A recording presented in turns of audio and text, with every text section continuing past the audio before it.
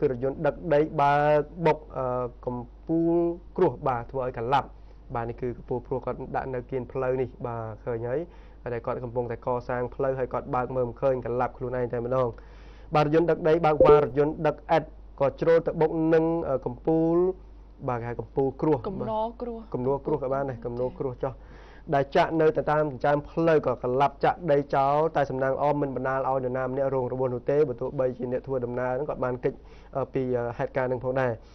បាទប្រជាពលរដ្ឋនៅកន្លែងកាត់ហេតុបានប្រាប់ដឹងថាមុនពេលកាត់ហេតុគឺមានរថយន្តដឹកដីម៉ាកនីសាន់នីសែលនឹងពោសបើកបរក្នុងទិសដៅពីជើងទៅត្បូងក្នុងលបឿនយ៉ាងលឿនមកដល់ចំណុចខាងលើក៏បានឃើញរថយន្តដឹកដីហើយក៏បានបើកវ៉ារថយន្តដឹកឥតមួយគ្រឿងទៀតហើយក៏បានបើកស្របទៅគ្នានឹងក៏ជ្រុលទៅបុកនឹងគំនរដីគ្រោះនឹងដែលកំពុងចាក់ចោលនៅតាមក្បែរចិញ្ចើមផ្លូវបណ្ដាលឲ្យរថយន្តនឹងក៏លាប់ផ្ងាជើងតែម្ដងតែសំណាងល្អមិនបណ្ដាលឲ្យនរណាម្នាក់រងរបួសនោះទេ ប្រជាពលរដ្ឋដែលរស់នៅអមតាមផ្លូវសងខាងនឹងក៏សំណូមពរទៅដល់ខាងក្រុមហ៊ុន ដែលធ្វើផ្លូវខាងលើសូមជួយស្រោចទឹកឲ្យពួកគាត់ផងពេលដែលរថយន្តបើកកាត់ចំណុចខាងលើម្ដងម្ដងផ្លូវហុយមើលអ្វីមិនឃើញនោះទេកប់ជួនតាមតាមផ្លូវខាងក្រុមហ៊ុនក៏បានចាក់ពនុកផ្លូវជាច្រើនផងដែរដែលអាច